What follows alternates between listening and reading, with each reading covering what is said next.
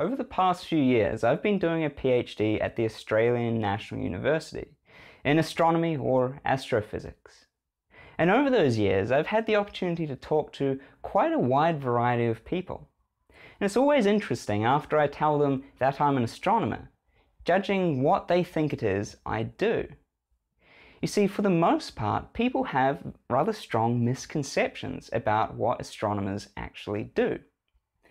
In your head, you may think, as an astronomer, I must stay up during the night uh, at some telescope on some mountain taking observations, either with my eye or with some instrument attached to the back of the telescope.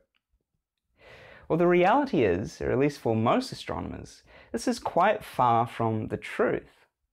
You see, professional astronomers are quite detached from the telescopes they may be using. In general, astronomers stay up during the daytime and sleep through the night. So we're just like you, ordinary people. We sleep when you sleep. So what is it that we do if we're up through the day and we can't obviously observe the stars during the daytime? Well, you see, astronomers spend most of their time doing computer programming. You see, these big telescopes that are scattered across the world, they take observations with detectors, be it something like a camera or something more complex like a spectrograph that splits the light up into a rainbow. So these big telescopes collect some data for you if you're successful in a proposal. And then you have this problem of you have lots of data that you need to analyze. So astronomers spend most of their time using computers to try and understand the data that they've got from these big telescopes. See, for the past couple of months, I've been working on analyzing data from the Kepler Space Telescope.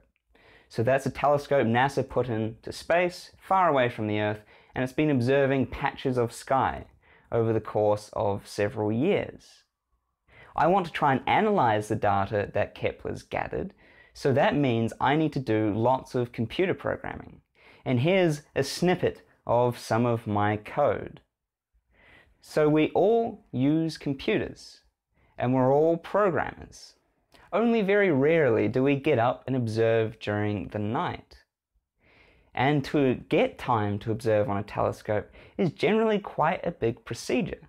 You see, there are lots of astronomers all across the world, and there are in fact more astronomers wanting to do things on telescopes than there are telescopes. So this means that you need to write applications, proposals, to use these big telescopes across the world.